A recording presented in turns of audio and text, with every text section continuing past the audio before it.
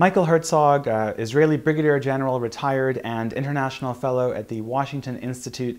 Thank you for joining Voice of America's Persian service here in Tel Aviv. Thank you, it's a pleasure. Well, I'd like to start by asking you about uh, Iran's involvement in Syria. How successful would you say Iran has been in uh, establishing itself militarily and economically in Syria? Iran uh, Iran's involvement in Syria has been very deep in uh, recent years. Uh, essentially, what Iran has been trying to do is to fill the void created by years of turmoil and war in Syria and the Middle East the uh, rise and fall of ISIS, and they wanted to fill the void and establish themselves as a, a, dominant actor in the heart of the Middle East, spanning from Mesopotamia to uh, through the Levant to the Mediterranean, coupled with the establishment of a formidable uh, military front facing Israel in Syria, joining the one that already exists in Lebanon. And I would say. Um, uh, several years on, uh, most of the Iranian initial uh, very ambitious, uh, ambitious plans were thwarted mostly by Israeli military activities, uh, some by Russian activities and others. but Iran is still there, still very active, invests a lot, has not given up on its ambitions, and makes as much an effort as possible. many in Israel wonder why Iran is investing so heavily uh, in a country which is uh, far away, uh, 2,000 kilometers far away. And why do you and, think that is? I think it's part of uh, their ideology. Um, for them, uh, defending Iran starts uh, far away, not the Iranian borders. But I think that is coupled also with deep ideological hostility towards the state of Israel, and they've been trying to encircle us with military fronts in Lebanon, in Syria, in Gaza, uh, and uh, with modest success, I would say. How effective do you think Israel's uh, policy of countering and trying to push back the Iranian presence in Syria has been? I think it has been quite uh, effective. Uh, as I said, most of the Iranian initial plans were thwarted. Uh, they don't have a naval base in Syria, they do not have an air base in Syria. They don't have planes in Syria. They have some drones. They don't have 100,000 uh, uh, proxy militias deployed there. So most of it was thwarted. The Israeli idea was to uh, um, employ uh, military measures, but in a way that does not escalate to a, a war between us and them. Um, so until now, Israel's pushback has been uh, quite uh, successful, but it's not a given that uh, it will be successful forever. Uh, why do you think uh, Iran uh, has not responded to these repeated Israeli military strikes in Syria with a more kind of aggressive uh, retaliation against Israel? First, they tried to respond several times with uh, very measured uh, military activities. Uh, they sent an armed drone from Syria to Israel, which was uh, shot down. They fired 32 rockets uh, from Syria to the Golan Heights. Only four crossed the line and were intercepted. And uh, in January of this year, they fired uh, a rocket towards the northern part of the Golan Heights, which was also uh, intercepted. And this was the first time that Israel and Iran directly traded military blows. It was always Israel and Iranian proxies, but now it's Israel and Iran uh, itself. But I think uh, Iran is, uh, finds itself uh, in a situation where Israel enjoys both operational and, and, intelligence superiority in Syria, and they know it. They stand a lot to lose. They are under heavy pressure elsewhere, also economically back home. And I think uh, they are deterred. They, they realize that uh, if they escalate, uh, they stand more to lose than to win. So their, their response has been uh, quite measured. Well, you recently wrote about uh, the U.S. military presence in Syria and how uh, Israeli officials uh, were concerned that uh, President Trump would uh, withdraw all U.S. forces from there. The president has now said a small contingent will remain. Uh, how credible a presence do you think that small contingent will be in Syria of U.S. troops, and what kind of message would it, would it send to Iran? There was concern uh, in Israel about uh, Trump's announcement of uh, exiting Syria. I think more than the practical uh, implication of this, it was the symbolism or the, the buzz in the region as if the US is uh, retreating from, from this region, which is a source of concern to Israel and to others in the region uh, as well. And now we see that um, uh, the, the, US administration decided uh, not to pull out everybody and leave uh, some forces both in the northern uh, Kurdish area and in Al Tanf base, which is situated on the triangular border area between Syria, Jordan, and Iraq. And I think that was done. Uh, our government also pleaded with the US administration not to pull the forces out of these areas because uh, if you do, you create a void which will be filled by the Iranians. Uh, I think we're in a better place right now, but as I said earlier, uh, when it comes to the Iranian military deployment in Syria, Israel uh, is taking the necessary military action, not the US.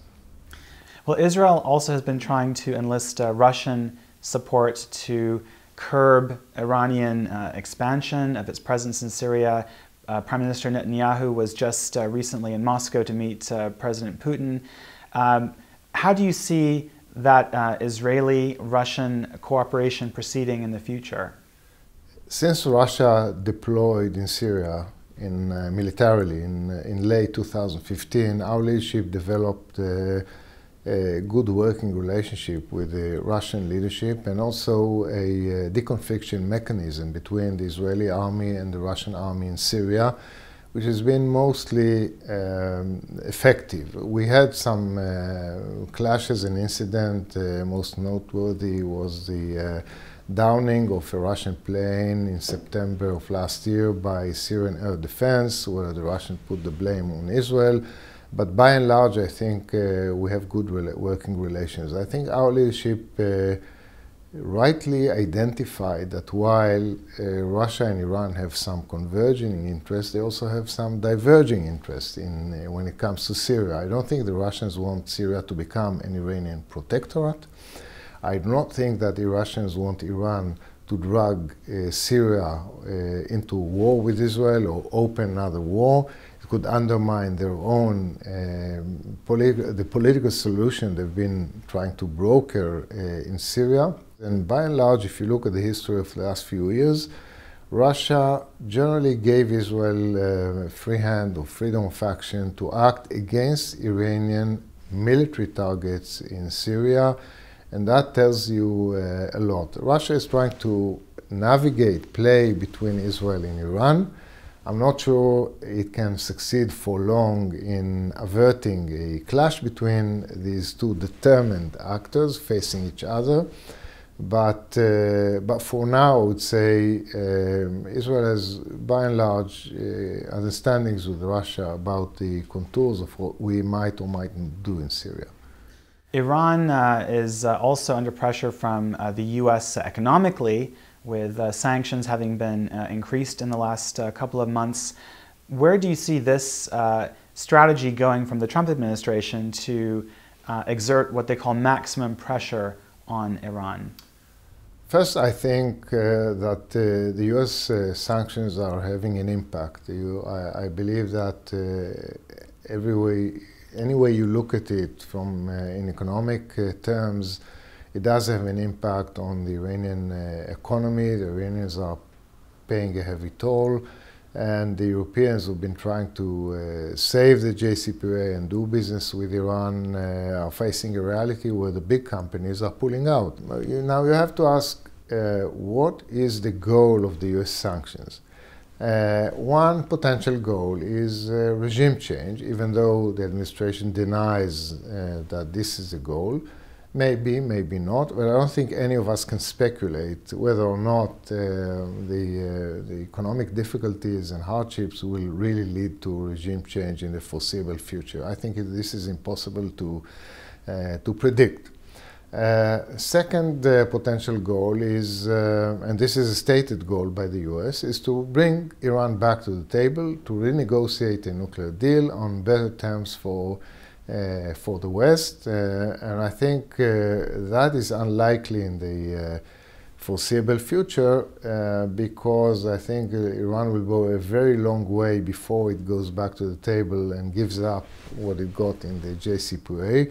In any case, the Iranian regime seems to be hoping that uh, the next administration, the next US administration, will navigate the US back to the JCPOA. So all they have to do in their mind is uh, wait out Trump.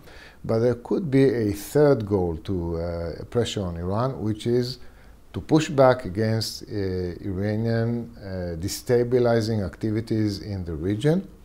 And I think uh, Iran is under pressure. Israel is pressuring Iran in Syria, others in uh, other parts of the Middle East.